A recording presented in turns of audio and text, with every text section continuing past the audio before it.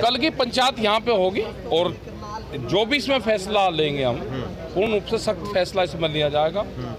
ये इस तरह का जो बार बार हो रहा है इससे निपटा जाएगा। जो कल सब कुछ हुआ उससे क्या किसान आंदोलन को नई मजबूती मिलेगी? बिल्कुल मजबूती मिलेगी। ये जितने लाठीचार्ज चलाएँगे जितना किसान का खून बहेगा उतना ही किसान मज़बूत होगा। आज की रैली में क्या संदेश नू जा रहे हैं शायद? आज नूज आ रहे हैं। इसके बारे में सबको पता है जब हम कल शिमला के अंदर प्रेस कॉन्फ्रेंस में थे तो वहाँ पे इधर लाठीचार्ज हो रहा था उधर वहाँ के लोग ये क्वेश्चन कर रहे थे क्योंकि ये पूरी अपडेट चल रही थी वहाँ पे। सर आप मिल जो जिनको चोटें लगे जिन किसानों को कल लाठीचार्ज में चोटें लगी उनके मिले हैं क्या कहना चाहेंगे? क्या उनको मेडिकल उनको हो रहा है या नहीं अभी? नहीं हो रहा। आज यहाँ पे पूर्ण रूप से वकील भी यहाँ पर बुलवाए हैं और जितने लोगों का चोट लग रही है, यहाँ पर सब लोग अपने रहेंगे, संगठन के लोग।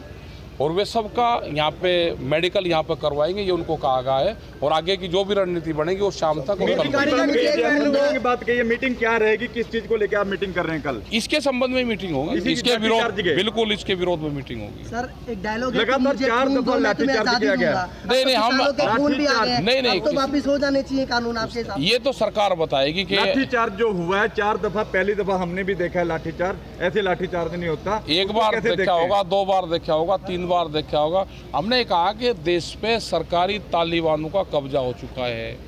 देश में सरकारी तालिबानों के कमांडर मौजूद है।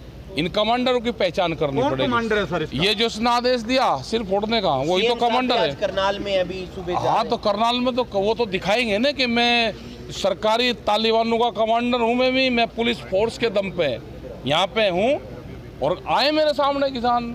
पुलिस फोर्स की ताकत पे वो कब्जा करना चाहते हैं पूरे देश सर वीडियो जो वायरल हो रही है उसको क्या कहेंगे? जो वीडियो कह तो दिया ना सरकारी तालिबानों का कमांडर